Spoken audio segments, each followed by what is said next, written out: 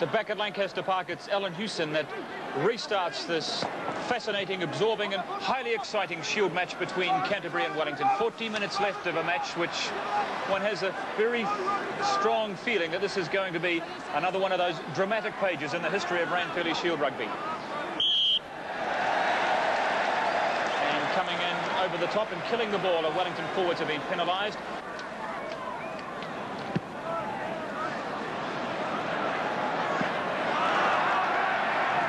Options here for Allan Hewson as he looks across the paddock, sees that Fraser really is too far away. So from the boot of Murray Mexted, that's where the attack is launched. Well taken by Deans in front of his own posts. Oh, a big punt from Deans, but it's nowhere near the touchline. Fraser, 10 metres from his own line. Thinking of having on Victor Simpson. And Simpson gives him an ungentlemanly shove after he kicked the ball and rather wisely for Simpson, he takes off in a hurry. The ball is still in play. Both teams seemingly unable to find touch. This ball rebounds off Craig Green. Back there is Wiley. And oh, again, an opportunity there for Green. Hangs his head in despair as the ball popped out of his arms and rolled into touch with the line open.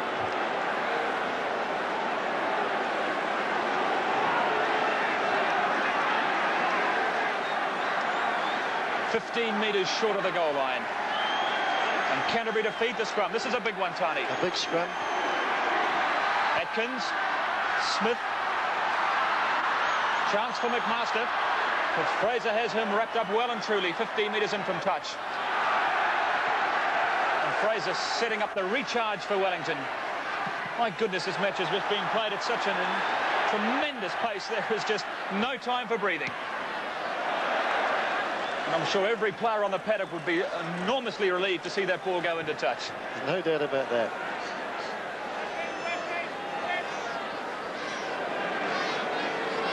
Oh.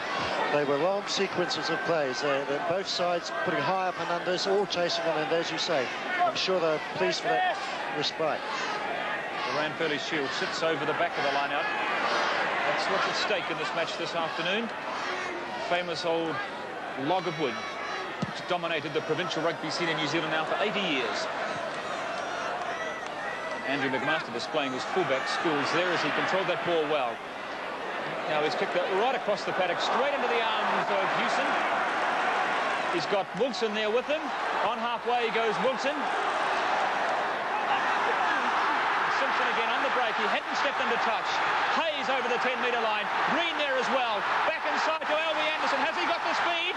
Anderson, it's a try! He just got there in the nick of time, and at last Canterbury have been able to finish a movement and score their second try. 13 points to 12. Canterbury back in the lead. Well, Fraser ran with the uh, Hewson ran with the ball, and Wilson was towed through, picked up by Victor Simpson, and he took off down the sideline, inches from the sideline. Ducked inside, fed it to Hayes, out to Green, into Thorpe, who looked at the line and took off, and just managed to go over for a great try. Try was unconverted by Robbie Deans, and Canterbury retain that single solitary point lead by 13 points to 12 after eight minutes of play in the second half. So two tries in this match to Tony Thorpe. It's a, a rare occurrence to see a lock forward score two tries in a rugby match. It is, and I'm sure Alex asked this Ladd for a big game, and he's really giving it to his coach. So now the Wellington team must reconsider their options. They no longer can sit comfortably on that lead. And the risks will now have to be taken by Wellington.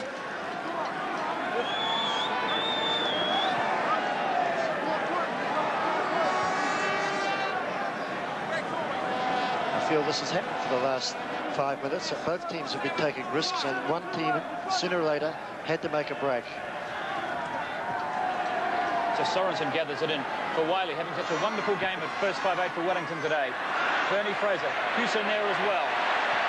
Fraser going to do it all on his own, maybe. Deans a few metres short of his own goal line. In go the Wellington forwards. That's the try line for Wellington, just a couple of metres away. And My goodness, there was some resolve and commitment from Bernie Fraser in that movement. We've had 10 minutes of play in the second half of this Rand Fairley Shield match at Lancaster Park. Canterbury ahead by just the one point. Horribly backfires for Wellington underneath the Canterbury goalpost. It's I was about to say cleared by Green, uh, Green, but the ball was charged down by Wellington. Still inside the Canterbury 22. It's there for the Wellington backs again, and it's a three-on-one situation here. Salmon through the gap goes Pollock, and Wellington back into the lead. What a seesaw match! Alan Pollock, this utility back in the Wellington side, playing at second 5-8 today, and Wellington, as they did in the first half, bouncing back from that Canterbury try and have hit the lead once again. It's 16 to 13 to Wellington.